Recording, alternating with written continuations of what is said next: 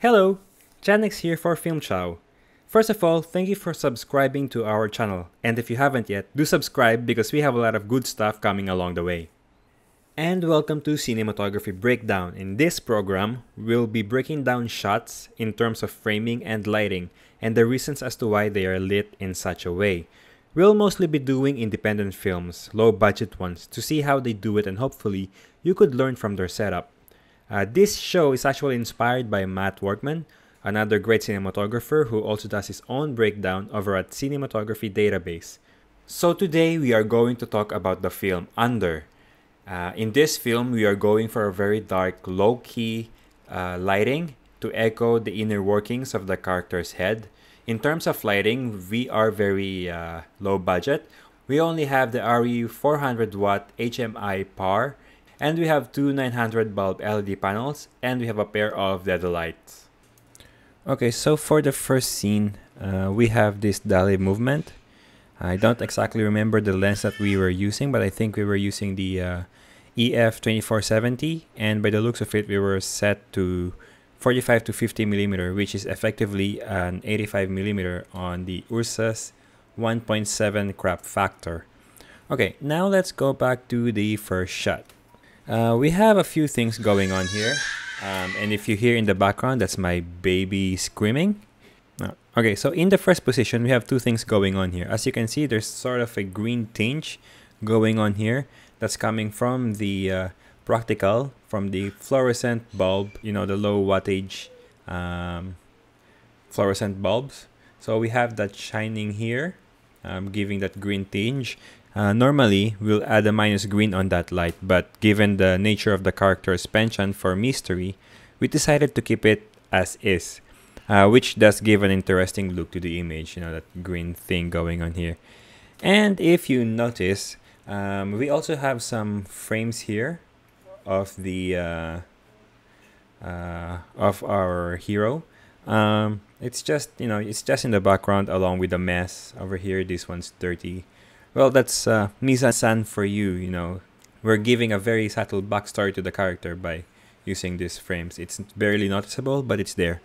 Now on the second position, uh, the background is actually lit by a 400 watt HMI, which is behind, hidden behind this uh, wall.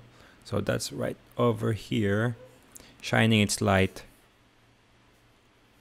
shining its light here. So um, the HMI actually has a full CTO um, to give it the uh, sodium vapor look of uh, the street lamps. Now there are specific gels to give it a more accurate sodium vapor look, but for our purposes, the CTO uh, will do. So that shadow you see here is actually from the barn doors. Let me clear this screen for you. So the shadow you see here uh, is from the barn doors of the HMI. So we just, you know, this barn door, we just close it a little bit. So we got a little bit of shadow going on here. And then this glow over here and the other light coming here and the other light coming here is actually from a 900 bulb um, LED panel, which is uh, just below the HMI shining its light here. And then given that the walls are painted white, we didn't anymore bother to set up extra lights and we just let the light from the HMI uh, and the LED panel bounce around everywhere. So as you can see from uh, from from him, from our hero, we got this nice soft light coming uh, from the side. So that's actually from the HMI bouncing into the white wall here and then reflecting back to him. Moving on. Now as he enters the door in this shot, we have the 400 watts inside here um, behind the wall to its lowest setting without any gels or nets and it's set to half spot to give the hero this uh, hard edges right here. Uh, the decision not to make it softer comes from the fact that we are portraying this man as a mysterious and a hardened character. So uh, we didn't want any, you know, we didn't want it to be wrapping around here. We just want a hard light hitting him over there. Now, again, we didn't flag the HMI or anything. We didn't put any cutters or anything. So we just let it spill all over the room. So the ambient light that you see everywhere here is actually coming from the HMI, which is spilling all over. Now the kitchen is actually lit by a 150 watt Dedolight and as we pan down you see it here. Uh, sorry, you don't say pan down, you say tilt down um, because that's the correct term. And you will see that the Dedolight is actually here. And this shot of light is caused by that uh, 150 watt Dedolight. And it's also bouncing around, giving this little ambient glow inside the kitchen.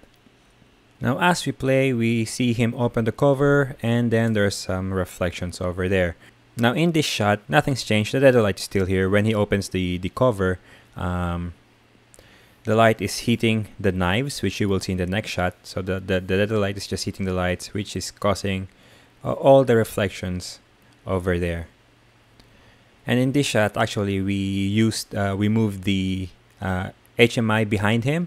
Um, same setting, no modifiers, no nothing, just straightly, straightly pointed at him to give him, again, that edge light or rim light, whatever you want to call it. Now the reverse shot, you see all these knives uh, and this is lit by one Dedolight, which is uh, causing all the reflection on the hero's face. And as we tilt up together with the knife, we see we have this reflection uh, reflecting into the hero's face.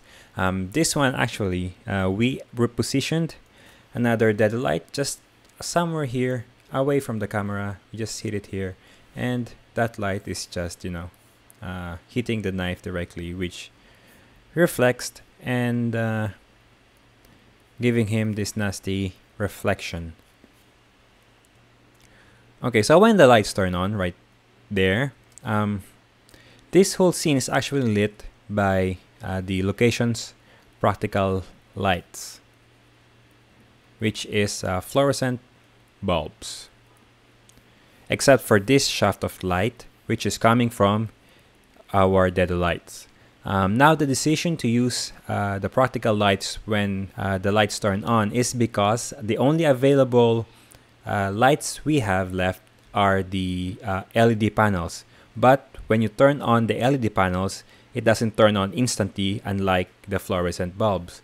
Um, when you turn on the LED panels, you know, it has this uh, fading in kind of thing going on. So we didn't use that. So what we did is uh, expose our shot to the practical light and dim down the Dedolight and increase a little bit uh, the opening and ISO of the camera. So for our purposes, that's okay because we have no other available lights and we are independent film, so it's fine. Now when we cut to his reaction shot, uh, this scene is no longer lit by the practical lights. Why? Uh, because if we use the practical lights, then it will be giving the wrong color cast. Uh, it will be giving, you know, a little bit of green, green uh, tint, and it will be giving the wrong shadows and there will be no emotions into the scene. So instead, what we used are two LED panels. Uh, one panel is right here, tilted a little bit down, so that gives him the side lighting. And then one here, just behind the camera. Well, the two panels are behind the camera, um, pointing upwards to the ceiling to let it bounce and give an overall ambient lighting. Now, as he turns around and we see the room behind him, uh, it we turned off already the HMI, the 400 watt HMI. We turned it off, and we turned on the practical light over here, which, uh, as you can see, if we play it forward, it's actually flickering. But that's okay because we are focusing on their faces. Now we change from the harsh lighting of the 400 watt HMI to the LED and the practical to signal the change in the character's mind. Basically now it's back to reality. Now you see, even though that we are already bright, there are still a lot of shadows everywhere. Shadows there, shadows here, shadows there. Um, it's not a high key lighting like a rom-com or a bright TVC. Rather, we're going with uh, realism here. See, this kitchen uh, is lit with the two practical lights. And that's what we're going for. Personally, when I light films, I say films because for TVCs, of course, I light depending on the requirements for that TVC. Anyway, with films, I tend to go with realism, where I exaggerate the key light source uh, for the location we are in. For this instance, the key light source of the room is the two uh, practical lights. So what I did is just to uh, exaggerate that lighting with our two LED bulbs, uh, sorry, with our two LED panels to give it a bit more drama and to give it a bit more emotion. Now if this was a rom-com or any other film, I would have lit this differently. I would have used the HMI to bounce it towards the ceiling to give the whole room an even light. Or I would have even used a uh, one by one diffusion and shine the HMI from there. Depends on the uh, requirements. And then inside here, if I had more lights, I would have used another uh, 575 or maybe uh, even uh, Kino Flos and put it in the ceiling to give uh, a more even lighting inside the kitchen. And then use the LED bulbs or the LED panels to give them a little bit of dimension. Now when we move to the wide shot, aside from the realism, this kind of lighting actually gives uh, even more depth into the character. Um, you see all these shadows, all these shadows over here, adds more depth into the image, into the film, into the scene, consequently giving more depth into the character.